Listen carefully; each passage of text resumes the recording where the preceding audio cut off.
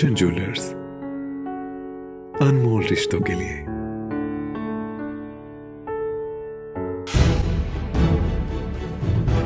हिमाचल मानव अधिकार लोक बॉडी पठानकोट, मंडी फोरलेन परियोजना के तहत, जो कंडवाल से सिवनी तक के 40 मोहल्लों के रेट सरकार ने कोड़ियों में लगाए गए हैं, इस विषय पर लोक बॉडी लगातार फोरलेन प्रभावितों के लिए शासन व प्रशासन से पिछले दो वर्षों से संघर्ष कर रही है। हिमाचल मानव अधिकार लोक बॉडी के अध्यक्ष राजेश पठानिया ने कहा कि महत्वपूर्ण परियोजना फोरलेन को नेशनल हाईवे न मानकर और स्टेट हाईवे भी न मानकर ज़्यादातर कस्बों को लिंक रोड घोषित किया है और जो अवार्ड लेटर दिए हैं, उनमें भी ये अदर रोड है, जिससे कि करीब चार हज़ार प्रभावितों की बहुमूल्य ज़मीन कोड़ियों के दाम में सरकार ने ली है। जनता इस मूल्य में अपनी ज़िंदगी कैसे गुजारेगी, अपना नया आशियाना कैसे बनाएगी? सरकार को जनता की जरा भी चिंता नहीं है। बहुत सारे प्रभावित लोगों ने माननीय उच्च न्यायालय का दरवाज़ा खटखटाया है, क्योंकि सरकार की और प्रशासन की इस धांधली को माननीय उच्च न्यायालय की रोक सकता है। और लोक बॉडी माननीय उच्च न्यायालय से ये मांग करती है कि जल्द पठानकोट मंडी भू अधिग्रहण प्रक्रिया के सर्कल रेट की सिलेक्शन के ऊपर एक एसआईटी स्पेशल जाँच कमेटी गठित की जाए और इसकी निष्पक्ष जाँच कराए कि क्यों शासन और प्रशासन जनता को मौत के मुँह में धकेलना चाहता है। पिछले दो वर्षों से लोक बॉडी लगातार फोरलेन के लिए संघर्ष कर रही है। अब अंतिम विकल्प माननीय उच्च न्यायालय पर उनकी आखिरी आस टिकी है। लोक बॉडी ये आशा करती है कि माननीय उच्च न्यायालय करीब 4000 लोग कंडवाल से सिबनी तक के फोरलेन प्रभावितों को उनका जायज़ हक मार्केट वैल्यू के हिसाब से फैक्टर टू ब्याज सहित राशि प्रभावितों को दिलाएगी।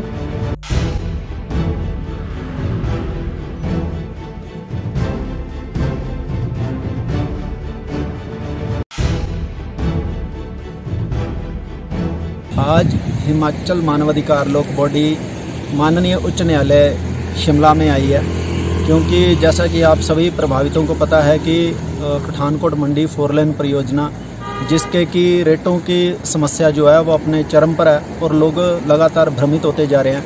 इस विषय पर जब भी हमने प्रशासन से, शासन से बात करनी चाहिए तो उन्होंने अभी तक हमें कोई आश्वस्त नहीं किया, कोई सही जवाब नहीं दिया। और जब हम उन्हें, उनकी गलतियाँ बताते हैं तो वो कहते हैं कि हमारे खिलाफ आप कोर्ट में चले जाएँ।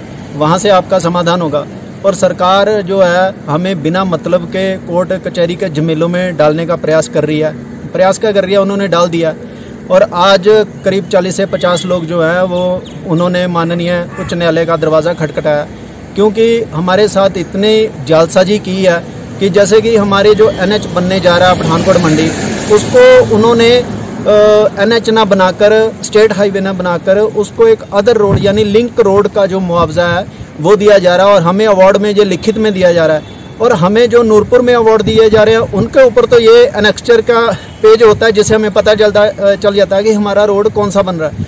परंतु जो ज्वाली के जो अवार्ड आ रहे हैं, या फिर ज्वाला जी देहरा में जो शिमला मटौर बन रही है, उनको इस बारे में कोई भी जानकारी नहीं है और वो ये पेज नहीं दे रहे हैं कि उनका किस रोड नेशनल हाईवे बनने जा रहा है। या फिर अदर रोड बनने जा रहा है या स्टेट हाईवे बनने जा रहा है। और सरकार हमें इस विषय पर लगातार भ्रमित करती जा रही है।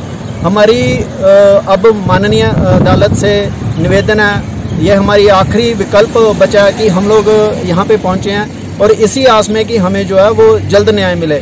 और एक बात मैं और कहना चाहता हूँ कि ये जो अदर रोड का जो सिलसिला है हम जब इनसे पूछते हैं कि आपने ये क्या किया, इतनी बड़ी धांधली किया तो हम माननीय उच्च न्यायालय से भी ये निवेदन करेंगे कि एक एसआईटी विशेष जाँच टीम गठित की जाए और इतनी बड़ी धांधली जो है, जो हमारी जो करोड़ों की, लाखों की जो ज़मीन है, उसका कोड़ियों का दाम क्यों लगाया जा रहा है? और हमारे एनएच को simple other road, link road क्यों बना के हमें जनता को धोखा दिया जा रहा है? और इसके लिए पूरे शासन और प्रशासन लगातार जनता के साथ धोखा कर रहा है। और हमें अब माननीय उच्च न्यायालय से पूरी आशा है कि वह जल्द न्याय करेंगे और लोगों को उचित मुआवजा देंगे, जो कि सरकार ने हमें फैक्टर टू और मार्केट वैल्यू के हिसाब से जो ब्याज सहित राशि देने का वादा किया था, हम चाहते हैं कि उसे वह जल्द जल्द पूरा करेगी और माननीय उच्च न्यायालय सरकार से हमें वो हक दिल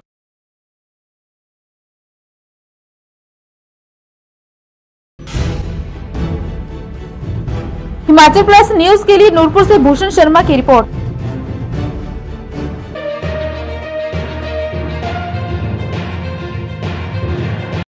तो रख अभिमान।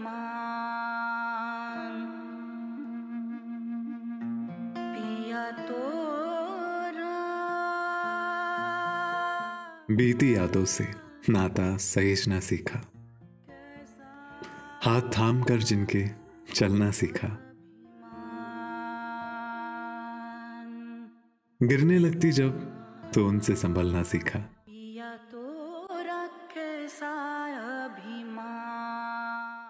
उनकी डांट से खुद को तराशना सीखा।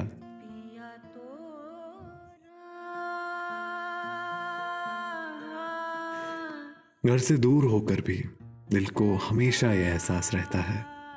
उनका प्यार और फ़िक्र हमेशा मेरे साथ रहता है।